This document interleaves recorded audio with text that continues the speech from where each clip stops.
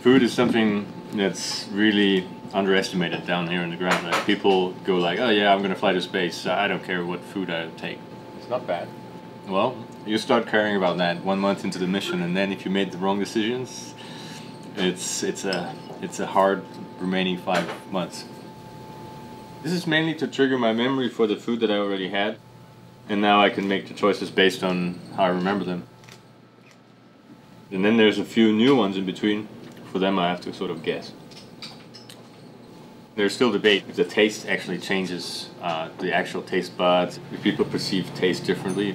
my personal opinion is we don't. I think it's the same, but the cravings change, and that is really hard to predict.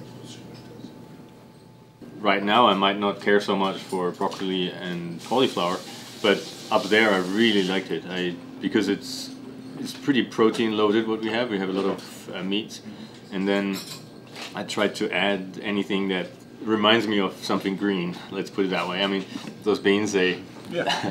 they don't resemble uh, beans a lot, but they actually taste really nice. Oh, we didn't have blueberries last time, right? We had raisins. Mm. That stuff is awesome. Last time I got a few Russian bonus containers. They also have very very good food.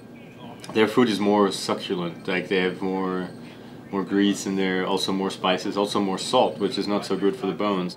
So I tried not to eat so much of it. The American food or the European food is, is more healthy, I would say. Uh, but once in a while, it, it's really satisfying to just open one a can of this really uh, succulent, savory Russian food, and I absolutely enjoyed it.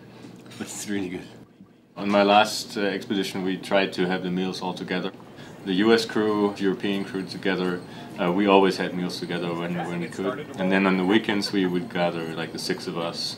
Either the Russians would invite us to their segment or we would invite them. And then we have the big table and everybody brings something together and it's kind of this medley.